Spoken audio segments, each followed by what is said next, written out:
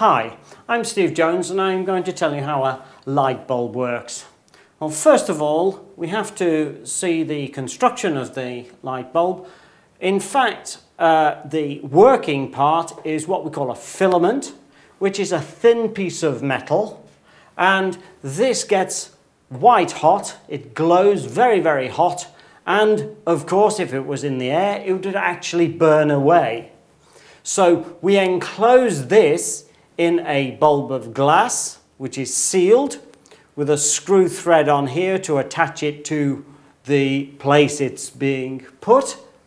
And we have two legs here on which we hang the filament. These are usually tungsten.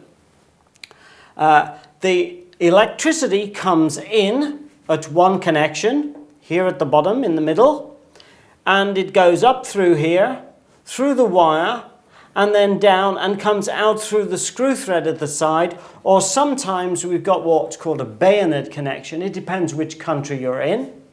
Either a screw thread or a bayonet. A bayonet is just flat, you push it in and turn it and it jams. So the glass bulb is evacuated. That is, there is no air in here. If there were air in here, this, as soon as it got hot, would burn away. You don't want that. What you do is you put in a gas which won't allow burning. You remove the oxygen in here and you put in argon gas. So this contains argon and won't burn. So this can become white hot and it will produce mainly light. Well, not mainly light, actually about 10% is light. Most of it is heat and this glass bulb will get very hot. Normally, these bulbs have a power of around 60 watts. So 60 watts is a, an average. They in fact go from something like 25 watts up to 250 watts.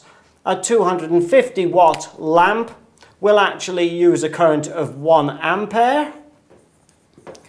A 25 watt, of course, will produce, will use a tenth of an amp. So there we have an electric light bulb and how it works.